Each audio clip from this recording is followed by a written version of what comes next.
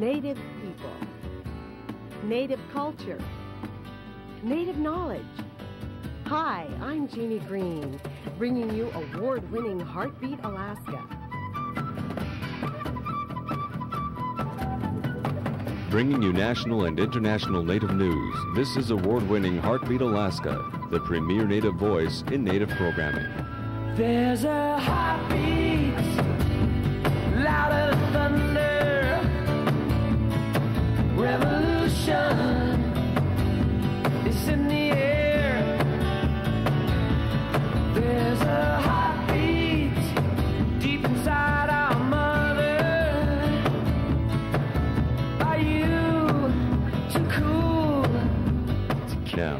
Heartbeat Alaska, here's Jeanie Greene. The show Heartbeat Alaska. The producer, Jeanie Greene. Hi, this is Jeanie Greene.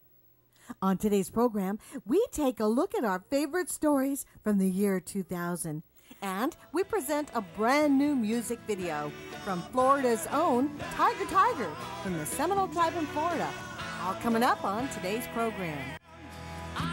Someday I'll make some money. It never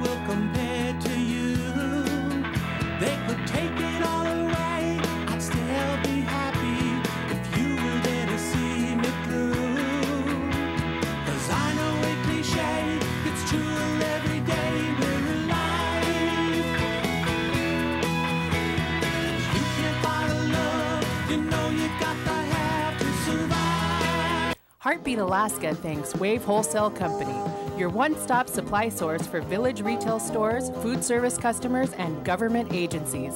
Welcome aboard, Wave. Support for this program provided by Blue Cross Blue Shield of Alaska. We've been giving Alaskans the support they need since before Alaska was even a state.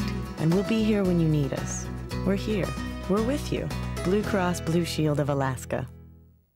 By the Nature Conservancy of Alaska, working with Alaska's rural communities to conserve and protect our natural heritage.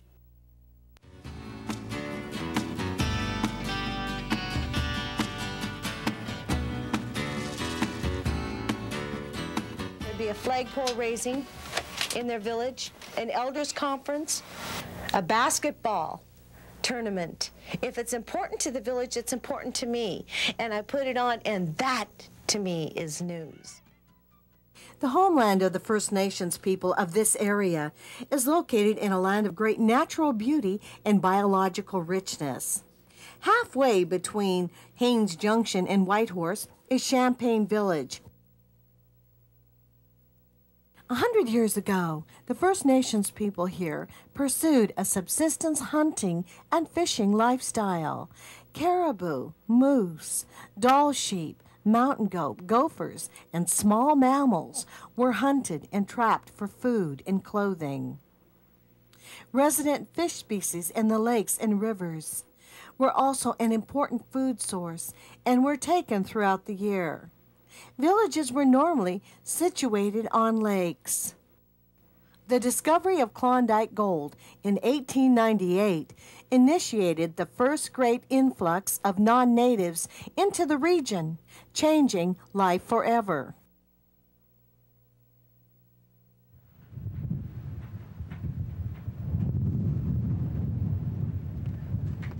My name is Mita Williams. I'm actually Southern Tutchone and Northern Tutchone. I'm a member of the Wolf Clan people.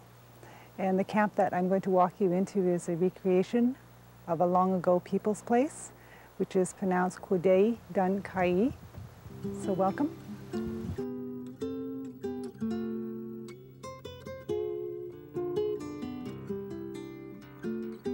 Try to imagine actually living in a structure made out of moose skins and actually staying from late fall, October, right until springtime. Gathering moss as a chinking material and cutting babiche for tying strings to hold the skins on a spruce and alder willow frame.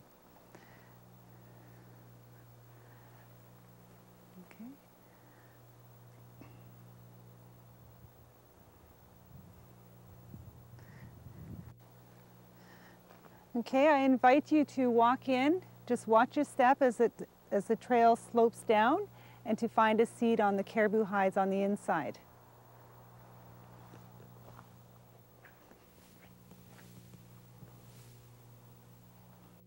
So with five children and five grown adults, they would all be nestled in here for a very long and cold winter.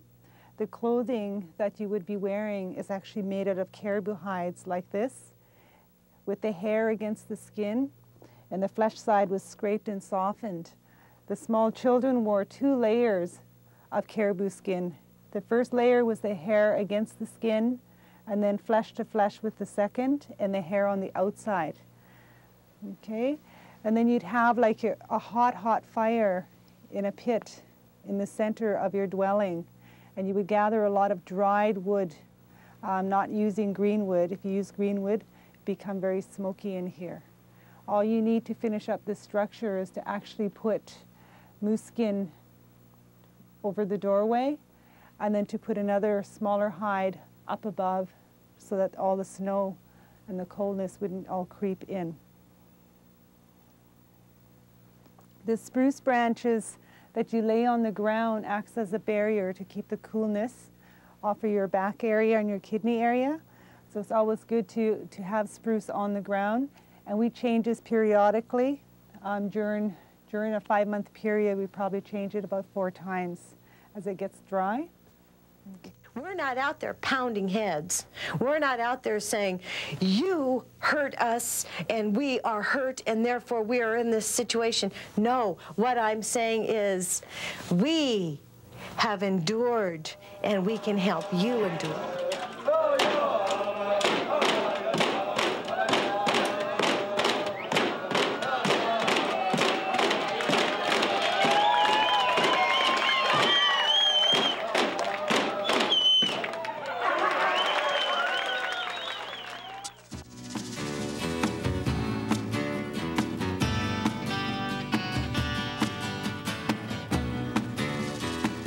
Pedro Bay is an Athabascan Indian village located at the north end of Lake Iliamna, just above the Alaskan Peninsula. But its history starts 16 miles across the lake on the Iliamna River. Yeah, that's the old village. Must have been 150 people there. Old Iliamna, or the Old Village as it is now called, is nothing but tall grass, an old wooden structure, and some fond Anybody memories. walked up through here? The freedom I had when I was uh, a small boy, of course, I didn't have to go to school because there was no school there. And I was able to hunt and fish and do just about anything I wanted anytime. And um, I even had a drop line. Close by, you know, about, say, 10, 15 feet apart, I guess, some, some, somewhere a little further. The houses all up and down like this, you know. With all clear from the top of the hill there. Old Iliamna was an area rich in fish and wildlife. There used to be lynx around, and marten, and fox, uh, wolverine, and there were wolves around. In the later years, the area was a center of transportation for supplies to and from the Cook Inlet region. Ahtna country is Chief Harry John's country. And recently, Harry and Ruth John celebrated their 60th wedding anniversary in Copper Center.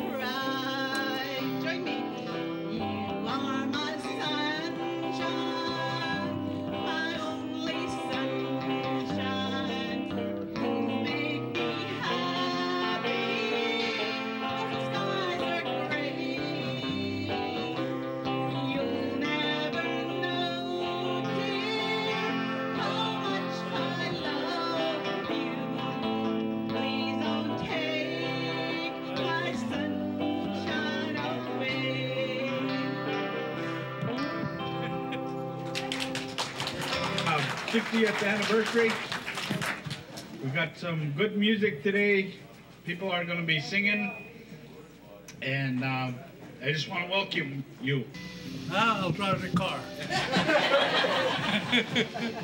family members and friends filled Kluti-Kaah Hall in Copper Center. The Johns have raised 10 children and have over 100 grandchildren and great grandchildren, plus one great great great grandchild. And I guess what really stands out in my mind, and I, I really want to thank, I don't know how many people are here from the Copper Center Church, Glennallen and Gulkana Church, but I'll tell you what, my mom and dad has a, fa- uh, um, they have, their life is centered around prayer. And uh, that's how I wake up in the morning, they're praying. Um, as a child, I remember waking up and dad praying. And I remember them, they always always seem to have devotion in the morning sometime together and they pray.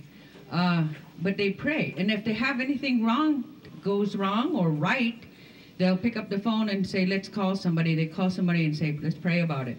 So that's, you know, that stuck to me, you know, and, and I just really appreciate that. And I think that's I want to thank everybody for coming years. today. You know, when you get this old, and uh, sometimes you think, well, I'm too old for everybody. You know, even the young children. But I see it different sometimes. I see the young people really come to me and like me, and my wife too. So there is someone that loves you. And I think of the time that we spend together. There's times, 60 years is a long time. There's times sometimes that uh, we never agreed with one another. And for uh, two, three hours, we feel like, uh, you know, what she's saying, I don't agree with this. What I say, she doesn't agree with it. So we get back together and said, well, there's something wrong with that. And we, a lot of times, you know, things come up that uh, we don't agree with too. But uh, we spent 60 years with one another, and it was it's been good 60 years. We go out on the highways, drive to Anchorage and things like that. But she said she didn't like my driving. I don't know why, but every time, seems like every time we leave here, she'd go to sleep, you know, wake up in Anchorage. I was glad of that. and I want to thank my children, each one of them today, for helping in this time together. And I know my children, my grandchildren all love us. They never stay away from our place. They come and help themselves to get something to eat too, to our grandchildren. I have a lot of friends that came in today. I want to thank all the people who are here today, all our friends and relatives, all come over to celebrate our,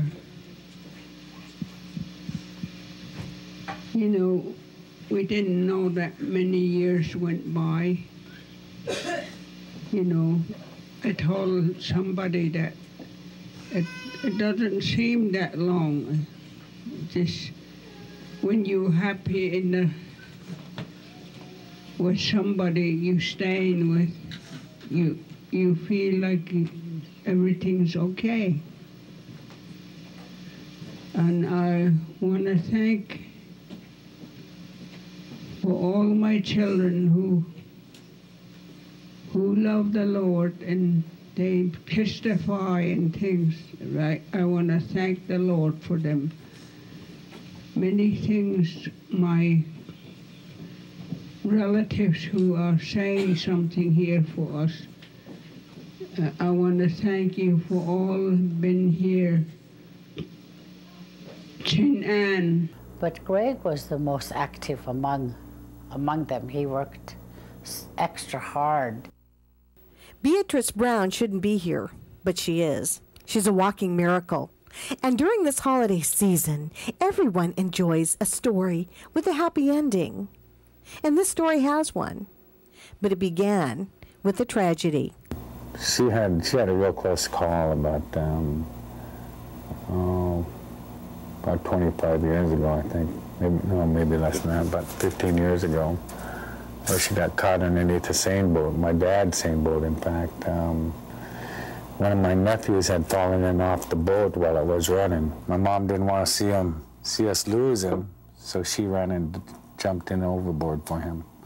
And uh, when they came back around to pick him up, um, she got caught underneath the prop and got sucked underneath the boat, and uh, we, we almost lost her that year.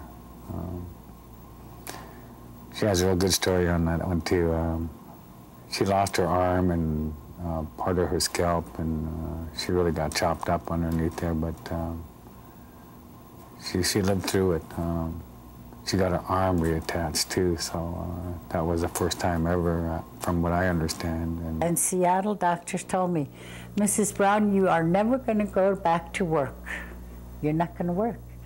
You have to learn how to live your life over again. You have to learn a lot of things. We don't know how far you're going to go, but you're not going to work again. You're not going to do anything because you're going to be crippled. I had to learn how to walk. I had to learn how to dress. I had to learn how to eat. I had to learn how to use my hand. I was a right-handed person. I became a left-handed. So I couldn't walk. I couldn't. I couldn't dress. I couldn't put my own clothes on. I couldn't do anything. So just like a brand new baby, I had to do all these things again. I had to learn how. And when I was home for one year, they told me well, I was going back down to Seattle for uh, checkups, after checkups. And this one night when I came here to Juneau to the hotel, there was somebody that came to my door and told me that he said, Beatrice, your life was put, you were put back on this earth for a purpose the life you're going to lead now is going to be different. Other people, caring for them, helping them, loving them. That's what Beatrice Brown and her son Greg Brown are all about. Greg works for Hope Community Resources in Juneau. In his spare time, he teaches the youth traditional dances, keeping the culture alive while guiding and caring for the youth. the kids are great. Um, I told them the only requirement I had for any of the children to learn was that uh, they had to be committed and they had to be um, disciplined to discipline themselves to make it to practices and sing and dance, and, and I'll do the rest. And they've been that. They've done that. Um, just by the amount of awards that we won in one year. Uh, shows us that these kids are really serious. Know, I'm really proud of them. I really am. Um, even with a, such such a big group as that, uh, we've come a long ways. We've done a lot of things. Uh, we learned a lot of things, and it's still helping them out quite a bit. The stories of Beatrice Brown and her son Greg are inspiring, hopeful stories. And during this holiday season, we hope we've brightened up your day with this happy Thanksgiving story. For Greg and Beatrice Brown have much to be thankful for, and we're thankful for them. Happy Thanksgiving from Heartbeat, Alaska.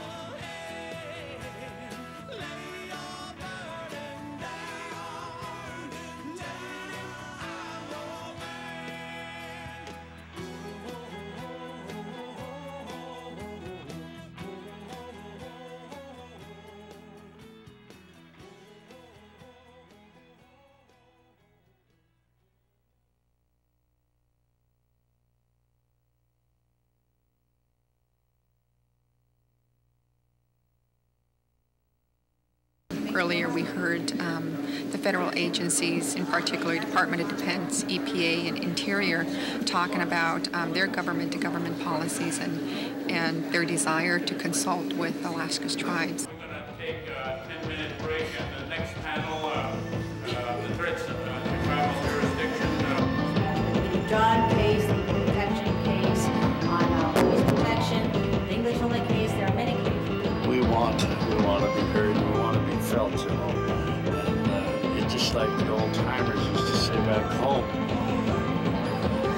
Who's going to take our place who that's what my grandfather used to say who's going to take our place who's who's going to lead us There was always opposition to this. This shows you the voice and the action of the people. No one knew what. And what happens with this new Congress, it's going to have a lot of ramifications back.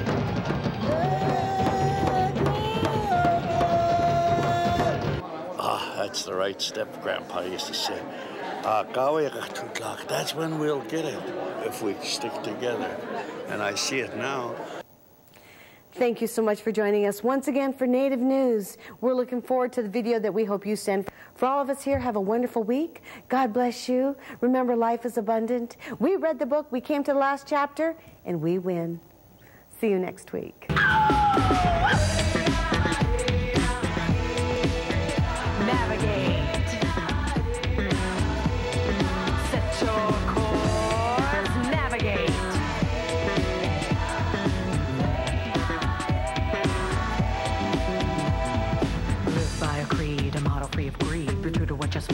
Last Mohican in real life. Love your wife. My neighbor, do yourself the favor. When the words fall down, you're looking like a clown. Ain't no one gonna say that they'll take back what they gave you. It's like that, like that. So when you want the truth. Uh, oh, long summer nights, falling in love. Don't ever wanna part, don't ever wanna say